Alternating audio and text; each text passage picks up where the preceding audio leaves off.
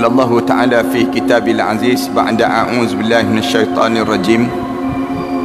بسم الله الرحمن الرحيم. حتى إذا جاء أحدهم الموت قال رب ارجعون. لعلي أعمل صالحا فيما تركت. كلا إنها كلمة هو قائلها ومن ورائهم barzakhun ila yaumi yub'atsun sehinggalah sampai saat kematian di kalangan mereka itu. Apabila jenazah mereka mula dibaringkan di barzah dalam kubur tiba-tiba masing-masing mula menyebut wahai tuhanku berilah peluang untuk aku kembali hidup di atas dunia. La'alli a'malu salihan lima tarakt Kalaulah aku boleh hidup Aku akan buat balik amalan salih yang aku tertinggal Waktu mana aku hidup dahulu. Kalla. Jawablah malaikat pada orang yang dah mati ni Sebut pada mereka sebut Jangan sekali-kali kamu harap kamu akan kembali hidup. Innaha kalimatun huwa qailuha. Hanya mulut-mulut kamu saja mengulang kata untuk kembali hidup wa min waraihim barzakhun ila yaumi yub'atsun sedangkan di belakang kamu kamu akan mula melalui saat barzah sampailah kamu dibangkitkan balik di akhirat nanti. Surah al-mu'minun ayat yang ke-99 dan ayat yang ke-100 Pertamanya marilah sama-sama kita mengaturkan rasa syukur yang tak terhingga kita pada Allah di atas nikmat panjangnya umur kita ini. Sehingga kan kita diberi peluang oleh Allah untuk kita datang sekejap di antara maghrib dan isyak ini. Untuk kita duduk seketika merenung perjalanan yang kita akan lalui pada masa-masa yang akan datang nanti. Ini di antara satu tanda yang diajar oleh Rasulullah sallallahu alaihi wasallam tanda-tanda orang yang cerdik Rasulullah sebut demikian. Bila kita boleh duduk dalam majlis-majlis sebegini Allah jadikan kelebihan pada kita kerana kita ni di antara manusia-manusia yang cerdik. Allah pilih orang tertentu. Tak semua orang Allah bagi peluang untuk duduk dalam majlis ilmu sebegini. Kalau kita perhati kawan-kawan kita yang lain ramai yang sibuk dengan makan, sibuk dengan kerja, sibuk dengan tugasan mereka sehingga kan mereka lupa untuk nak bersiap menghadap di hadapan Allah. Kita ni kita datang dengan tujuan nak bersiap.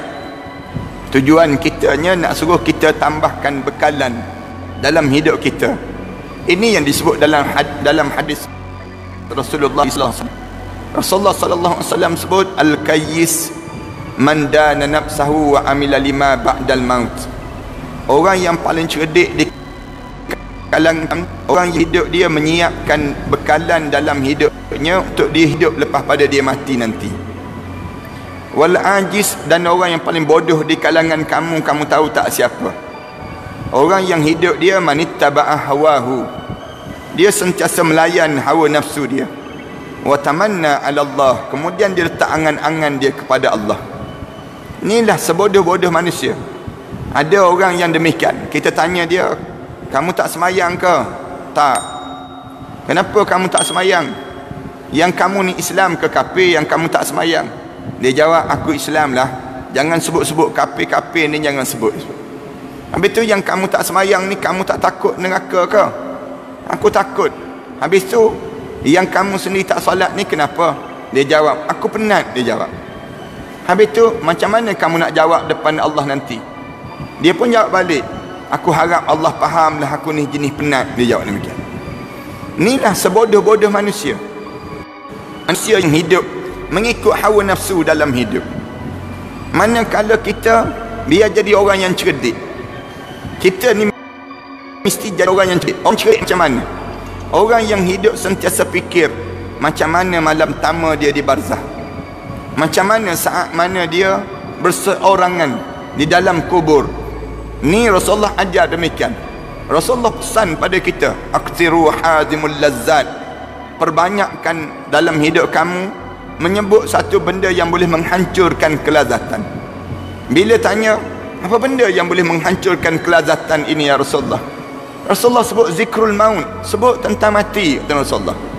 Sebut tentang bagaimana perjalanan kematian ini kenapa Rasulullah suruh kita sebut tentang perkara demikian ingatkan dalam hidup kita ni sentiasa ingat tentang macam mana kita di saat mana kita dalam kubur macam mana di saat mana kita rasa ular ni berjalan sebelah kanan dan kiri kita Cuba bayangkan di saat mana kita rasa bagaimana kita nampak kala jengking depan mata kita.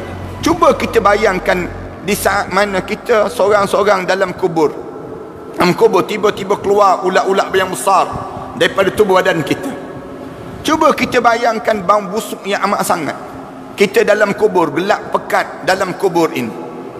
Bila kita boleh bayang begitu keadaan diri kita, suasana yang kita nak lalui nanti tentu kita akan fikir macam mana kita nak lepas suasana yang kita nak lalui itu sendiri ni datang dalam pemikiran kita macam mana aku nak suruh jangan ada ular jangan ada kala jengking jangan ada himpitan kubur jangan kena perkara-perkara yang disebut dengan azab kubur yang berlaku pada diri aku ni jangan kena jangan kena tu tanda kita ni orang yang cerdik kerana kita pun tahu bahawa hidup kita ni bukan di dunia.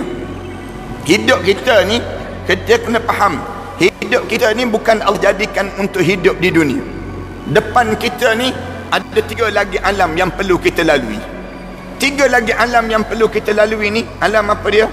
Yang pertama dia panggil, tiga lagi alam ni, kejap lagi, dipanggil alam barzah. Alam yang sekejap lagi kita akan sampai. Siapa dahulu, siapa kemudian Allah sajalah yang tahu di kalangan kita. Lepas pada kita hidup di alam barzah, kita kena hidup lagi di alam yang keempat. Alam keempat panggil dikumpul kali dan kembali manusia. Dihidupkan balik manusia dan juga jin di pada mahsyar Allah. Lepas pada alam mahsyar, kita kena hidup di alam yang kelima. Alam panggil sa'idun aw saqiyun alam bahagia ataupun alam celaka dalam hidup bahagia ni maksudnya apa dia alam syurga ataupun alam neraka Allah Subhanahu Wa Taala ni ni kalau orang yang orang yang hidup dia panjang pemikiran dia jauh pandangan dia dia akan sentiasa bersiap dalam hidup ni. Bersiap ni dengan tujuan apa? Bersiap bersiap. Supaya tak datang satu penyakit yang akan akan kena di kalangan sebahagian ramai di kalangan kita. Orang kita ni sekarang kita tak tak rasa penyakit ni. Tapi kita akan dapat penyakit sekejap lagi. Penyakit apa dia? Penyakit menyesal dalam hidup. Sekarang tak rasa lagi menyesal. Tuan-tuan tak akan rasa lagi menyesal tapi tuan-tuan akan mula rasa menyesal bila? Dalam hidup kita ni bila hijab mata kita mula dibuka? Bila hijab mata kita mula dibuka? Start daripada hijab mata kita mula dibuka nampak malaikat-malaikat mula berduyun-duyun turun. Malaikat mula datang depan muka kita. Ataupun malaikat datang sebelah kanan kiri kita ni malaikat mula sebut wahai anak Adam aku cari setitik air untuk kamu telan sudah tidak ada. Aku cari sepatah kataan yang keluar daripada mulut kamu sudah tidak ada aku cari rezeki kamu sudah tidak ada aku cari aku cari untuk dengusan nafas kamu sudah tidak ada Wahai roh, sila keluar daripada jasad ini. Bila sebut keluar saja daripada jasad ini, datang terus penyesalan. Tuan-tuan jangan menyesal tuan-tuan. Kebanyakan manusia dia menyesal terus. Menyesal Allah rakam mulut-mulut manusia yang menyesal ini. Mulut-mulut manusia yang menyesal ni dia kata dia akan sebut apa dia? Dia sebut terus laula akhartani ila ajalin qarib. Malaikat boleh tangguh tak sekejap? Jangan bagi mati lagi melakit ni mulut-mulut orang dah mati ni. Kalau kita tengok jenazah tu jenazah yang yang terbaring tu dia pernah dia bercakap dengan malaikat sebentar tadi. Dia cakap apa dia? Sebut oleh malaikat malaikat beritahu Allah sekejap. Jangan bagi mati lagi aku ya Allah jangan bagi mati lagi. Kenapa jangan bagi mati? Fa as sekarang juga saya nak bersedekah di jalan Allah. Wa akum minas salihin. Sekarang juga saya nak menjadi hamba Allah yang saleh. Malaikat jawab terus pada orang nak meninggal dunia. Walan yuakhirallahu nafsan iza jaa ajaluha. Allah tak tangguh dah nyawa-nyawa seorang bila sampai saat kematiannya. Wallahu khabirum bima ta'malun. Allah tahu perangai apa yang kamu akan lakukan kalau ditangguh kematian dalam hidup kamu